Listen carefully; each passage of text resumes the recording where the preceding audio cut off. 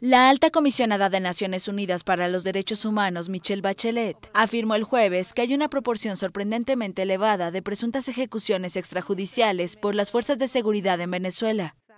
Tras visitar el país petrolero entre el 19 y 21 de junio, Bachelet resaltó en un informe que los grupos armados civiles progubernamentales conocidos como colectivos han contribuido al deterioro de la situación, al imponer el control social y ayudar a reprimir las manifestaciones.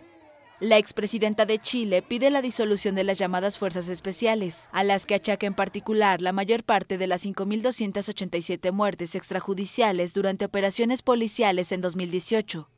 Según estadísticas del gobierno venezolano, entre el 1 de enero y el 19 de mayo de este año, otras 1.569 personas fueron asesinadas, pero Bachelet resaltó que las cifras podrían ser muy superiores. La alta responsable de la ONU recomendó también la creación de un mecanismo nacional imparcial e independiente para analizar esas ejecuciones y pidió al gobierno que publique regularmente datos exhaustivos sobre la salud, acceso al agua y alimentos.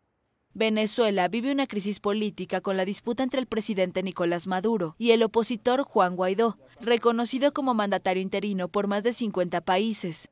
La situación se ha agravado por una debacle económica en medio del embargo petrolero y sanciones impuestas por Estados Unidos para intentar sacar del poder al chavismo.